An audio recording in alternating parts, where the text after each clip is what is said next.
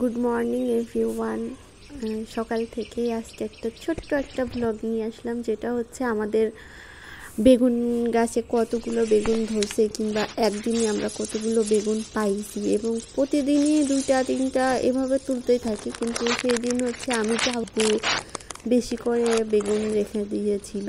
এই জন্যেই সেটাই আপনার ছোট্ট করে ব্লগ ভালো লাগবে দেখেন। আর আশা করছি সবাই ভালো আছেন। আমরাও ভালো আছি, আলহামদুলিল্লাহ। আর এই যে বেগুন উঠাইতেছি, দেখুন কত সুন্দর হয়েছে গাছগুলা। আমি আপনাদের, আমার আব্বুর হচ্ছে বাগান দেখিয়েছি, বাড়ির পিছে যে, বাড়ির সাথে যে বাগান, আব্বু সবজি বাগান করছে, অনেক কিছু গাছ লাগাইছে। সেটা ইতিমধ্যে আপনাদের দেখিয়েছি এবং গাছ লাগিয়েছি, সেটাও দেখিয়েছি যে আমি আর আব্বু গাছ লাগিয়েছি তো ভাবলাম কেন না গাছ লাগিয়েছি, ফল পেয়েছি সেটা দেখাই। এজন্যেই আর কি। তোলার সময় ছোট্ট করে একটা ব্লগ করছি। আর সকালবেলা দেখুন, সুন্দর পাখি কিচিমিচি করতেছে। সকালবেলার পরিবেশটি অন্যরকম থাকে, ভালো লাগে। গ্রামীণ জীবনে আসলে সেটা খুব সুন্দর পাওয়া যায়। শহরের জীবনে যদিও ক্ষেত্র বিশেষে কিংবা কিছু কিছু জায়গায় পাওয়া যায়। যেমন আমরা এখন যেখানে থাকি, এখানে সুন্দর সব পাখি, সকাল ভোরের আলো ভোটের সাথেই সব পাখির ধ্বনি শোনা যায়। কিন্তু আগে বা অন্যান্য অনেক বাসায় আমি এই জিনিসটা পাই নাই জবে থেকে আর কি শহরে থেকে। এই যে আমি আব্বু, আব্বুও বেগুন তুলছি, আমি আসলে বেগুন আমার জন্য রেখে দিছে যে, তুমি উঠাও। আমি উঠাইতে পারতেছিলাম না। বেগুন ধরে টান দিলে গাছ ছিঁড়ে আসছে, আবার কোনোটা টান দিলে সিলে উঠে আসছে মানে প্রবলেম আর আব্বু সুন্দর মতো ধরছে, টানছে, তুলতেছে। এই যে দেখেন কত বড় বেগুন, আর কত সুন্দর দেখে কত বড় হলো, একদমই জালি ছিল। আমরা ওই সকালবেলা বেগুন পোড়া দিছে আম্মু। দিয়ে, রুটি দিয়ে খাইছি, খুবই মজা। আর আসলে গাছের জিনিস খাওয়ার চেয়েও দেখতেই মজা। দুই চোখ ভরে দেখব, ফল ধরছে। এই জিনিসটা দেখতেই খুব ভালো লাগে। অনেকগুলো বেগুন আরও তোলা যেত। আরও চাইলে আরও তুলতে পারতাম, কিন্তু সেগুলো উঠাই নাই। কারণ হচ্ছে একবারে তুললে তো আবার ঘরে থাকলে নষ্ট হবে তুলটাইতে হবে? তো সবচেয়ে বড় বড়গুলো তুলসি আর কিছু ছিল যেটা দুই দিন মানে একদিন পর তুললেও হবে, দুই দিনও রাখা যাবে।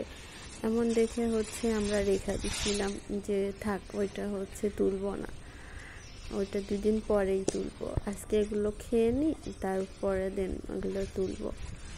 তো অনেকগুলাই বেগুন তুলেছিলাম মাসাল্লাহ প্রায় দুই কেজির মতো। আর সবাই কথা বলতেছে, এই জন্যেই নয়েজ আসছে অনেক। এটা হচ্ছে একটু ভুল ত্রুটি ক্ষমা করে দিবেন সামান্য একটু নয়েজ মার্জনীয় করবেন। এই যে আব্বু আর একটা গোল বেগুন তুলে নিছি। এবার অবশ্য বেগুনের রোজের মধ্যে অনেক দাম কম ছিল মোটামুটি। এদিকে কেমন ঢাকাতে কেমন ছিল বলতে পারব না তবে আমাদের এলাকাতে কুষ্টিয়াতে বেগুন অনেক সস্তাই ছিল, বিশ টাকা কেজি ছিল। এবং আমি আসার দিন আমি বাড়ি থেকে আসছি হচ্ছে তৃতীয় রোজায়। তো আসার দিন হচ্ছে আব্বু গাছেরটা সহ আর মানে গাছে তো হবে, এক দেড় কেজি হবে। তো আব্বু চাচ্ছিল একবারে বেশি করে কিনে দিতে, যাতে পোড়া রোজা ফ্রিজের মধ্যে সুন্দর করে রেখে পেঁচায়ে পলিতে পেঁচে সারা রোজেই খেতে পারি বেগুনি। আর আমার পার্সোনালি বেগুনি অনেক পছন্দ করি, অনেক। এই জন্যই আব্বু বলছে যে অনেক দাম হবে, নিয়ে যাও। তো তখন যখন আব্বু কিনে দিছে, আমি আসি তখন দাম একটু বেশি ছিল মেবি তিরিশ টাকা ছিল। তারপরে আমি চলে আসার পরে বিশ টাকায় নেমে গেছিল।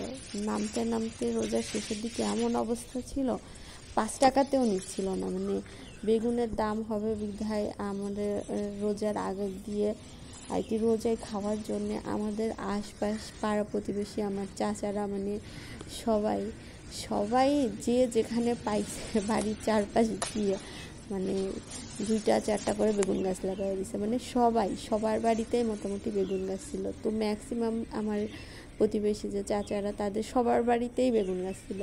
আমাদের এলাকায় মোটামুটি সবার বাড়িতে বেগুন গাছ ছিল মানে এখনও আছে। ওই বেগুন গাছ এখনও মরে নাই, ওইটা আরও কিছুদিন খাওয়া যাবে। তো না আরও কিছুদিন হবে। তো এই সুবাদে হচ্ছে আমাদের এলাকার বেগুনের দাম অনেক কমে গেছিল। আমাদের হচ্ছে সপ্তাহে তিন দিন হাট বসে। সপ্তাহে বিকেলবেলা তিন দিন আমাদের বাজারের উপরে হাট বসে। তো ওই হাটে আর কি আমাদের লোকাল চাষিরা কোনো কিছুই আমদানি করে না। সব কিছুই আমাদের লোকাল চাষিরা নিজেদের খেতে যা হয়, যা যেটা হয়। দেখা যায় কেউ চারটা লাউ নিয়ে যায়, কেউ পাঁচটা লাউ নিয়ে যায়। আর কারোর খেতে বেগুন চাষ করে, তারা হচ্ছে দশ কেজি বেগুন হচ্ছে দশ কেজি নিয়ে যায়। আর কি এভাবে লোকাল চাষিরাই নিয়ে যায়। কোনো ইম্পোর্টেড কোনো কিছুই না। শুধুমাত্র পেঁয়াজ ছাড়া, কারণ আমাদের ওইদিকে ওইভাবে অতটা পেঁয়াজ হয় না। আলুও যেটুকু হয় হয়, চলে যায়। তারপরে আলু, পেঁয়াজ, এই দুইটা জিনিসই ইম্পোর্ট করে বেশি। ইম্পোর্ট বলতে আসলে বাহির থেকে না মানে অন্যান্য জেলা থেকে আর কি নিয়ে আসে। এই যা। আর এই তো, এখন আমরা বেগুনগুলো নিয়ে ঘরে চলে যাচ্ছি এবং আমি দেখাচ্ছি কতগুলা বেগুন হয়েছে এই ঘরে নিয়ে গেছি এই যে এখানে প্রায় দুই কেজির ওজন দিলে দুই কেজির বেশি বেগুন হবে। তো এইটাই দেখানো ছিল এবং আমি হাত দিয়ে বলতেছি আমাকে যে আমার দুই কেজির বেশি হবে তাও কম হবে না।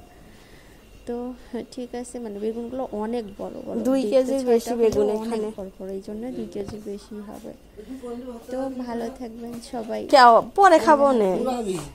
আবার দেখা হবে নেক্সট ভিডিওতে সবাই ভালো থাকবেন হ্যাপি হ্যাপি থাকবেন।